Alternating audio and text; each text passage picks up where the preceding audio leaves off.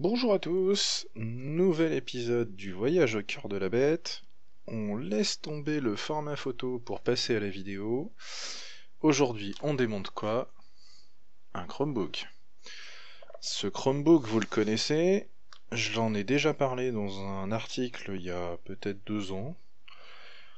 Et à l'époque, je l'envisageais comme une alternative au PC classique sous Windows ou sous Linux, en l'occurrence c'est Linux qui m'intéresse le plus. L'idée aussi quand je l'ai acheté c'était de regarder comment ça se passait pour supprimer Chrome OS. Le fait est que ce n'est pas si facile que ça, puisqu'actuellement le Chromebook ne fonctionne plus du tout. On y allait un peu fort, mais on n'avait pas le choix, parce que toutes les tentatives ont échoué pour faire ça proprement jusque-là. Du coup, je me suis dit, bah, comme il a déjà été démonté quelques fois, autant vous montrer comment ça se passe. On va commencer tout de suite. Alors, j'ai gagné du temps. Je vous ai enlevé toutes les vis du châssis, comme ça on n'en parle plus. Et on va voir que c'est assez simple. On attaque, alors il faut attraper un coin du châssis. Je passe souvent par là, moi, parce que c'est assez facile. Et on tire un petit peu. Et là, ça choisit de réciter. Voilà, c'est bon. Les clips viennent. vous voyez, c'est des clips en plastique. Hein, ça se fait assez facilement. Hop là, on y va doucement. Et une fois qu'on a tout déboîté, on n'y va pas trop vite, sinon on se fait surprendre comme moi, parce que là il y a une première nappe qui est tenue par un petit double face ici. On a un petit connecteur ici où il faut soulever le plastique. Voilà, et une fois que c'est soulevé, hop, on débranche la nappe. Et donc, l'USB 2 et la prise jack TRRS sont libérés. On enlève le châssis, il ne nous sert plus rien. Donc là, voyez, on comprend, si vous vous souvenez, j'expliquais que l'ordinateur était capable de tenir 8 heures de batterie, donc pour 150 balles c'était pas mal, et on comprend pourquoi.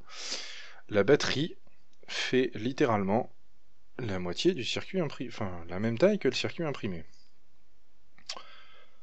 Donc, euh, et comme on va le voir après, c'est comme ça consomme pas beaucoup.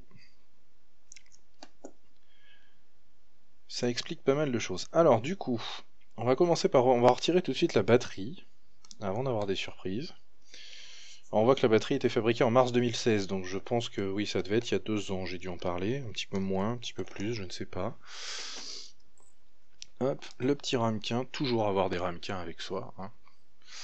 vous voyez, il y a toutes les vis du châssis. Hop, il n'y a que deux vis. La batterie n'est pas collée Ouh, on n'est pas dans un smartphone, ça fait plaisir. Donc là, on commence à voir pas mal de choses. On voit plusieurs câbles. Ici, c'est le clavier. Ici, c'est le touchpad. Ici, vous avez le connecteur pour les deux enceintes qui sont là, donc les fils qui courent là. Ici, on a une petite nappe avec un petit circuit qui gère les deux diodes qui s'affichent pour dire si l'ordinateur est allumé et s'il est en charge ou pas. Là, c'est la carte Wi-Fi Bluetooth avec les deux antennes qui partent dans l'écran qui est en dessous. Et ici, on a le connecteur qui gère à la fois l'écran et la webcam qui est intégrée tout en haut. Donc on va commencer par retirer tous ces éléments-là. Je vais commencer par le clavier. Hop. C'est peut-être le plus chiant celui-là parce que la nappe, il y a des espèces de, de petits ergots dessus, voilà, qui sont censés le maintenir. Je sais pas si vous les voyez bien. Et euh, ceux-là, on a vite fait de les abîmer parce que c'est juste du petit plastique. Par contre, ici, c'est les petits connecteurs qui se soulèvent comme le premier ici. Donc c'est plus facile. On soulève, on retire, on referme pour pas abîmer quelque chose. Ici, on soulève, on retire, on referme. par contre, celui-là, celui des enceintes, il est un petit peu plus roots. Hop, voilà, c'est fiché, c'est débranché. Et donc après, on va démonter la carte Wi-Fi. Alors, la carte Wi-Fi, je vais pas débrancher les antennes, parce que les connecteurs sont minuscules, et avec mes gros doigts, c'est un enfer pour les remettre après. Voilà, on va juste les retirer comme ça, on va virer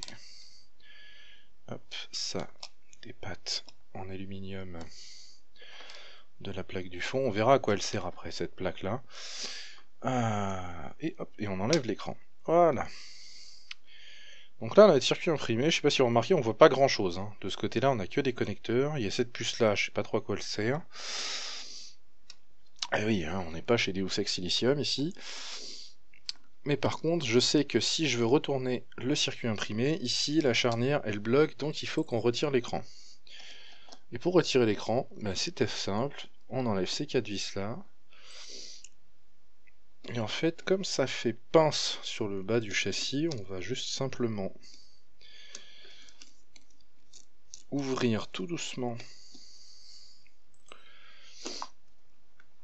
le Chromebook. Je préfère éviter d'y aller comme un bourrin. Hein. Euh, faut pas oublier que c'est du plastique hein, à la base. Hop. Et voilà, on a libéré l'écran. On va l'enlever. Bon, je vous le démonte pas parce qu'il n'y a rien de transcendant là-dedans. À la limite, vous retournez voir les photos de mon ancien laptop. C'est plus ou moins la même chose. Voilà, et donc là il nous reste deux vis à, supprimer. Alors ça paraît beaucoup hein, comme ça, mais je préfère avoir ça, des vis un peu partout, plutôt qu'un comme dans un smartphone où il y a du double phase dans tous les sens, où vous risquez de flinguer une batterie et donc que ça vous explose à la tronche ou que ça s'enflamme au premier problème. Alors, et donc là, on a l'impression, voilà, ça résiste un peu quand on soulève. Alors c'est normal, vous allez comprendre. Hop, voilà, j'ai décollé avant de retourner, vous voyez, ici on a une plaque de cuivre avec un pad thermique, et j'aurais pas dû le toucher. Le pad thermique, il sert à quoi? Il sert à refroidir ceci. Donc là, vous voyez, on a toutes les puces nécessaires au fonctionnement de la bécane. Donc avec ça, vous avez un ordinateur portable dernière génération, enfin dernière,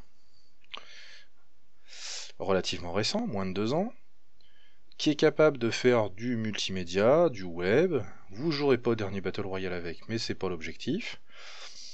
Et donc, tout le refroidissement tient à ce pad thermique, cette plaque en, cuivre adhésif qui est reposée sur la plaque en aluminium qui elle est euh, sertie au châssis en plastique, qui donc sert à finir de répartir la chaleur et de rigidifier un petit peu euh, ce qui ne serait euh, de toute façon, vu l'épaisseur du plastique, beaucoup trop souple, sachant qu'en plus en dessous il y a le clavier, donc pas possible, pas rigide, voilà. Donc on a quoi sur le circuit imprimé? On a, ici c'est le stockage, euh, j'ai 32 gigaoctets d'annoncés, alors c'était quand ça démarrait, je vais pas aller lire les références, comme je l'ai dit je suis pas un expert, euh, ici, c'est le Celeron. Alors, euh, sur la fiche Amazon à l'époque, c'était marqué que c'était un Celeron N3050, mais euh, Linux le voyait comme un N2840. Alors, je vous cache pas que ça change pas grand-chose. Hein.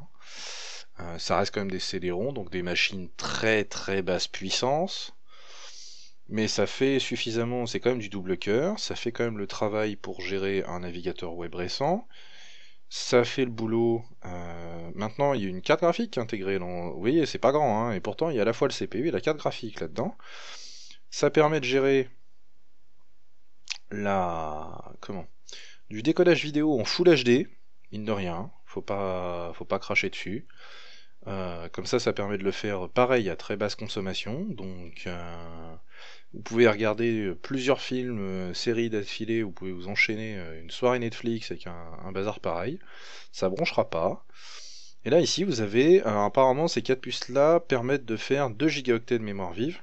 Et vous avez la place pour ajouter 2 gigaoctets supplémentaires qui vous ferait 4 gigaoctets. Et il y a certains modèles qui sont vendus avec 4 gigaoctets. Voilà. Et, euh, le restant, bah, c'est euh, des régulateurs de tension, des contrôleurs pour gérer euh, les ports. là, il y a un HDMI, un USB 3, l'alimentation, le lecteur de carte SD. Et de l'autre côté, vous avez ce qui gérait la connexion Wi-Fi. Vous avez et, donc le composant qui pose problème, c'est celui-là, c'est l'EPROM. Donc c'est là-dedans qui est stocké donc une version modifiée de Core Boot qui était verrouillée pour travailler et démarrer uniquement sur le stockage et sur Chrome OS et que je n'ai jamais plus euh, débloqué de manière simple euh, d'un point de vue logiciel pour pouvoir démarrer sur USB et donc démarrer autre chose qu'un Chrome OS et potentiellement désinstaller Chrome OS pour y installer un Linux. Donc on a essayé de le flasher en mode matériel, ça n'a pas encore marché, on désespère pas, mais on n'avait pas assez de temps pour terminer.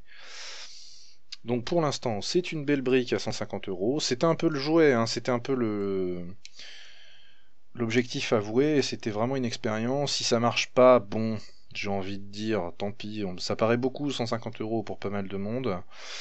Moi, ça l'était pas. En plus, c'était pas critique de le casser parce que le peu qu'il peut y avoir sur la puce, de toute façon, c'est des choses que je suis capable de récupérer ailleurs.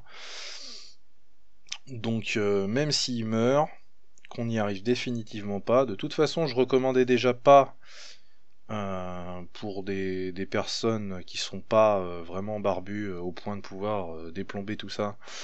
Je recommande pas un Chromebook en tant qu'outil, en tant qu'ordinateur personnel même pas éducatif, parce que malheureusement ça a l'air d'avoir un certain succès, notamment aux États-Unis dans le domaine. Et comment? Donc l'idée c'est vraiment de... Euh, voilà. Si on le libère, tant mieux. Si on le libère pas, tant pis. Et de toute façon, c'est l'informatique aujourd'hui. On a de moins en moins le contrôle sur l'appareil qu'on achète. C'est dommage, donc je continuerai à défendre euh, un PC classique, même si techniquement euh, le matériel fait que c'en est un, mais il y a un bout de logiciel qui fait que ça ne l'est pas. Ce qui est quand même en plus assez euh, ironique, parce que Coreboot est un composant au minimum open source, voire libre, qui est censé pouvoir permettre justement de se passer de systèmes fermés comme les Chrome OS. Bon, tant pis.